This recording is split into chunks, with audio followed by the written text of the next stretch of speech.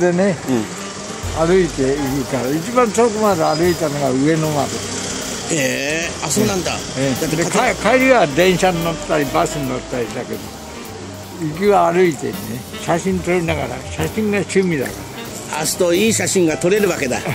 へえ。ら写真が趣味と、うん。それからあと語囲碁うん。これうん。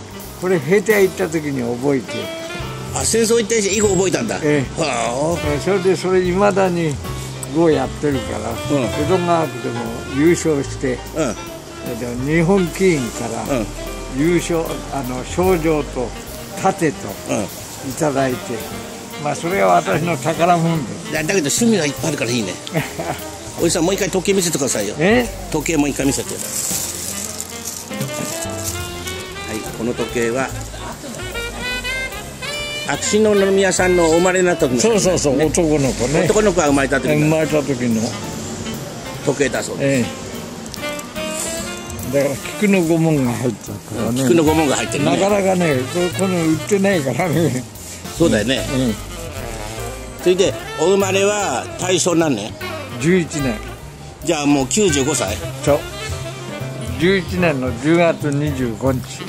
だけど長生きする秘訣は何ですか？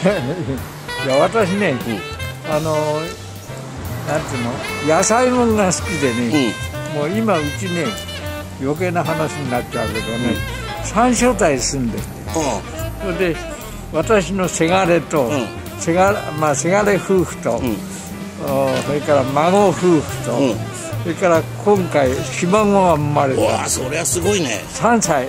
まあひ孫3歳になったけどね。だけど長男がね、うん私の家内が72で亡くなった、うん。それで長男がね、うん。長男の夫婦の今あの長男は亡くなったの56で。うん。それで長男の嫁と、ん。それから今言ったあの孫夫婦と、うん。それからひ孫ちゃんだ。独身の独身の孫はまだ一人いるんです、あそうかそうか。ええそれからしひ孫と、いやだけどみんな揃ってるのは寂しくないね。じゃあそうでおおじさんが一人で頑張んなくちゃいけない大黒柱。だけど私若い者には一切手かけてもらえない。全部私自分のこ食べるものから何から全部自分でこさえて食べて、うん。自分の洗濯から自分の部屋から全部自分で掃除してで今もお墓行って、うん。お墓があの東洋寺なの、うん。お墓行ってそれで今こちらへ10時って契約だから今こちらへよご苦労様でした。だけどおじさん仕事は何してたの？ずっと。あ仕事はねプレス機械ってシャーリングだとか、あまたあの、まあ、プレスの機械、そういうやつを制作して、うん。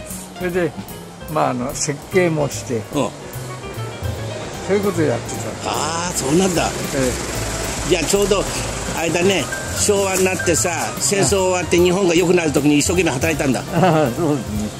それでねうだからね私今ねうちでこういうのをこさえてんの。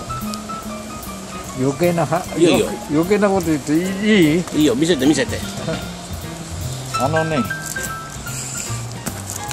これがうちの家族今言った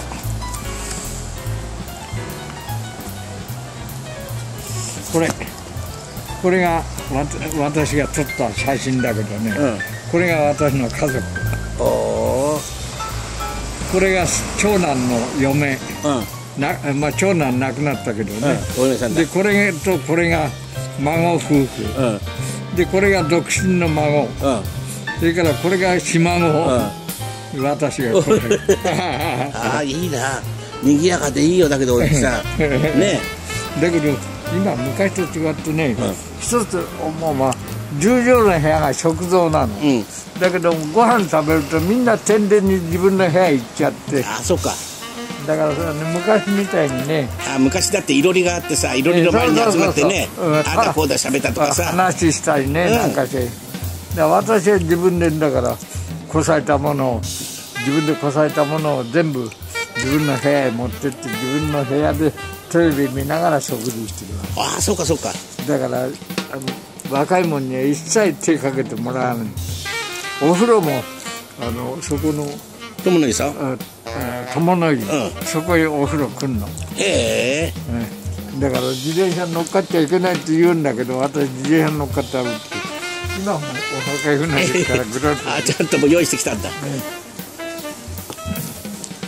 で昨日一昨日ね、えー7日。うん。11月の7日8日とうん。あの和歌山の方、うん。行ってきたの？うん、あっちの方にあの東洋寺の旅行で毎年、あのお寺さんの旅行があるわけ、うん。それに参加してるからだから行ってきてう京都の方ぐるっと回って。んいやーだけど元気だね。95歳だから信じられないね階段も手すり捕まんないで上がったり降りた。りしちゃうから、うん。うんだから他の人たちもみんな感心して。そうだよ。みんな本当感心しちゃうよな。だからこういうふうにね、うんこれがね、宮崎の社長、おーおー。宮崎さんだ。うん、だけど亡くなっちゃったこのことあそっか。ええ亡くなって、だから私が旅行に行く時は必ずこの写真持って一緒に旅行に、あそうか。ええずっと旅行にね78年行ってたから一緒に、あじゃあ同行してるんだ一緒に。ええ。だからね、うん。でこの方もね、うん。満腹寺。うん。満腹寺って知ってるでしょ、あの前に村上っていう酒屋があるんですよ、あの酒屋のご主人なの。うん。でこの人も旅行にうん旅行仲間なんだ。行ってた旅行仲間。だこの人も61で亡くなっちゃったの。あそうか。でこの社長は満腹寺にお墓があるの、おう。でこの方はとあの善養寺にお墓がある。えでうちのおせがれと、うん。あの家内は東洋寺にお墓。だ3えつ。三つある。え三つだからあだからお水三つあるんだ。ああ3軒。えご苦労様です。うんだから旅行に行く時にはこれ必ずこの方たち一緒に参加するように、仲間だもんね。ええ。だからこういうふうにね、はい。まあ、亡くなってからこれはあの元気な時の写真だけど、亡くなってから私これ社長の額を持ってう。んで旅行に行って。でだから宮崎の社長からこういうあの額を私にくれた。の年を重ねるだけで人は老いねえ。夢を失う時初めて老いが来る。年齢はただのうん数に過ぎない。二十歳のと年寄りもいれば89歳の若者もいるってああおじさんのこことだな ありがたいもの見せてもらいましたこれがこの間私が自分でね、自分の部屋で写真撮った、あそうだったえよく撮れてるよ旦那さん。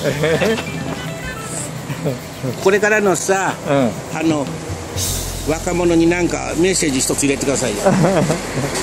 いややっぱりねあのー食べ物ももちろんあるけども、うん。そうじゃなくてやっぱり体を動かすことですよやっぱり 体もういいよこれで。はいおしまい。どうもありがとうございました、はいどうも。お元気で。はい